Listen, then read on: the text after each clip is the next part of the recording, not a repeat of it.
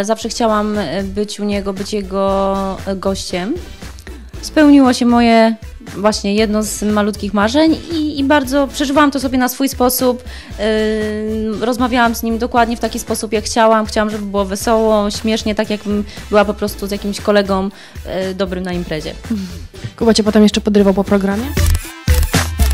Nie, Rozmawialiśmy, zresztą po programie też widzieliśmy się i rozmawialiśmy. Jest super człowiekiem.